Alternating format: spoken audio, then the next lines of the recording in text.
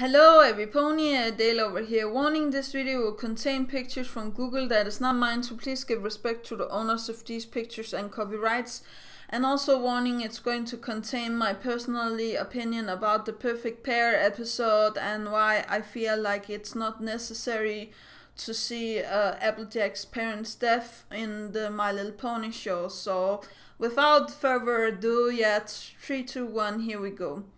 So I have been hearing a lot of people saying that they want to have the full background story of the, you know, Applejack's parents and stuff like that. But I do believe that we have confirmation in the Perfect Pear episode. Like I know that Burnt Oak have talked about that he wants to tell more stories about, you know, the parents or at least the dad and he's crying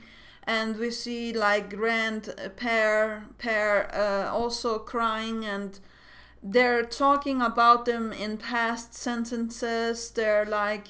it i don't need more confirmation. Like i'm 100% sure that they're uh, passed away in some shape way or form. And I also had the other video where I actually talk about the way that I feel like they passed away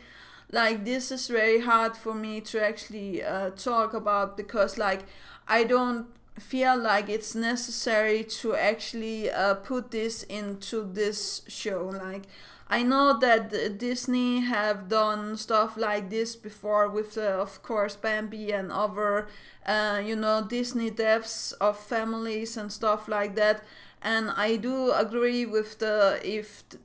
if there is a happy ending like children can maybe take it but I'm also like do we really need like death destruction and stuff like that in this My Little Pony show? Maybe we need a show where like there's not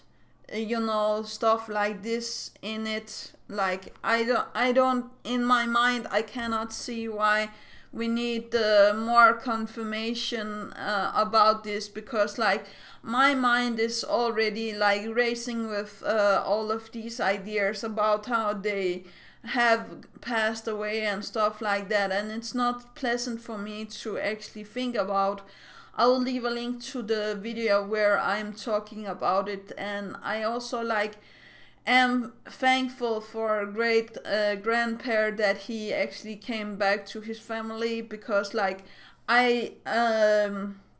I lost my granddad in 2011 and sometimes it's hard for me to actually think about all of this stuff and I'm like I don't need to have um, more depth in My Little Pony show or how to say that or at least not on screen. Like I was actually predicting an episode with Granny Smith dying and her, um, you know, that uh, Applejack would go to Twilight and ask if she could see the last memory of her and it would be the bubble with uh, you know Applejack being held by her parents and stuff like that. So we can uh, definitely see some confirmation about them passing away and stuff like that. And it doesn't need to be like um on screen or how to say that. I don't believe that we it's necessary to know how it it happened. Like i'm also thinking a little bit about the joker. Like the joker has all of these uh, different kind of background stories and um, with ever you want it's like your mind will also always take you uh, to places where it's like maybe a little bit more grim or it's uh, a little bit more happy actually what happened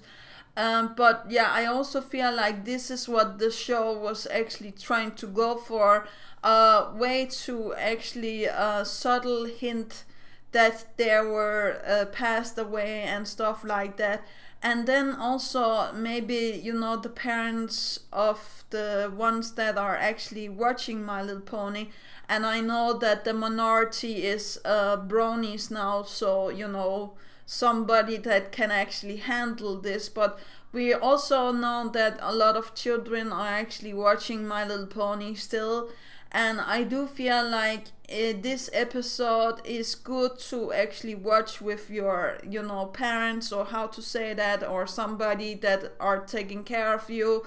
because like they can explain what happened to them and without you know there being any deaths on in the my little pony show it, it it doesn't need to be there because you know that you you sit down and you talk with your uh, family friends or the ones that are taking care of you. I hope that uh, you know how uh, you think it happened and you know what you can do to actually um, you know be coming over this sadness or how to say that to loss of uh, family members and stuff like that because it can be very hard. And i also sometimes go out to you know the graveyard where my uh, granddad is buried and be like visiting him but yeah i also am very thankful that i still have both both of my grandmoms uh, still i will actually call them after this episode is done or after i talked about this uh, I do believe that this The Perfect Pear episode makes us think about family. Uh, we, it makes us think about loss without uh, showing, you know, loss of family. And I also feel like uh, maybe in future we will have um,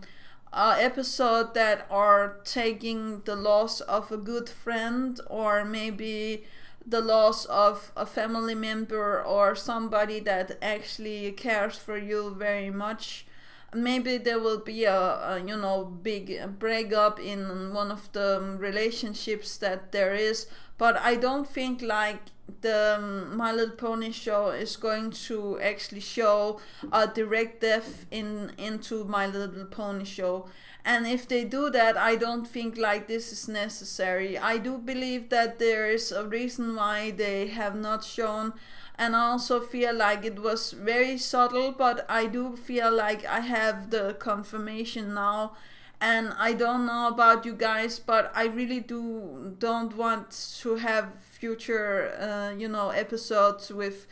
um, death or like I do believe that it's a good thing to actually talk about. And also feel like it's a good thing to actually have in into the My Little Pony uh, you know universe or how to say that but I also am thinking about the episode with Rainbow that's that's taking her parents for granted and I'm like, yeah, I I really wanted to also talk about you know that with my loved ones or how to say that. Um, actually, after the episode with uh, Rainbow Dash, I also called my uh, you know mom because like I know that I'm not taking my uh, parents for granted, but like I still feel like there's um something to be said in these episodes and uh, you know when you're sitting and watching maybe you are not thinking that much about you know the deeper meanings of these episodes. And also would like to add that there is the you know mirror that twilight actually gets uh, for uh, uh, starlight. And i do believe maybe in future we will see a episode where twilight actually loses starlight or vice versa. And I know that this is sound, trying to sound very, um, what is that, against uh, Starlight or against Twilight, but I'm not. I'm just saying to you guys that I do believe that into future the MLP episodes are going to be like more deep going or how to say that but there will always be like these episodes that are not good enough for people to actually um, you know go in depth and i do believe that um, yeah there could have been some explanation into the episode uh, more explanation about how they you know died and stuff like that but I still am not a big fan of this no more and I am like